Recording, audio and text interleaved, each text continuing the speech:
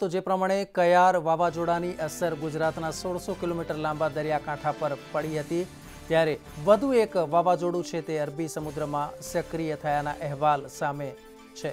Oman તરફ આ વાવાઝોડું છે, ત્યારે વાવાઝોડાને નામ પણ આપવામાં આવ્યું છે અને હવામાન વિભાગે આ વાવાઝોડાને મહા નામ આપ્યું છે. તે લગભગ કલાકના એંસીથી નેવું કિલોમીટરની ઝડપે આગળ વધી રહ્યું છે ત્યારે છ કલાક બાદ વાવાઝોડું સિવિયર સાયક્લોનમાં પરિવર્તિત થશે.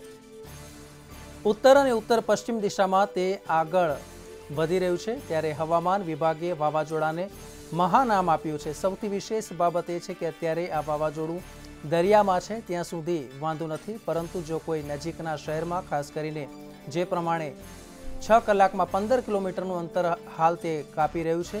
પરંતુ જે પ્રમાણે તેની તીવ્રતા વધતી જશે, તો પછી જે કિનારાના વિસ્તાર છે એના માટે ચોક્કસથી ખતરો પણ બની રહેશે. પરંતુ હાલ જો વાત કરવામાં આવે, તો આ જે વાવાઝોડું છે તે ઉત્તર પશ્ચિમ દિશામાં આગળ વધી રહ્યું છે.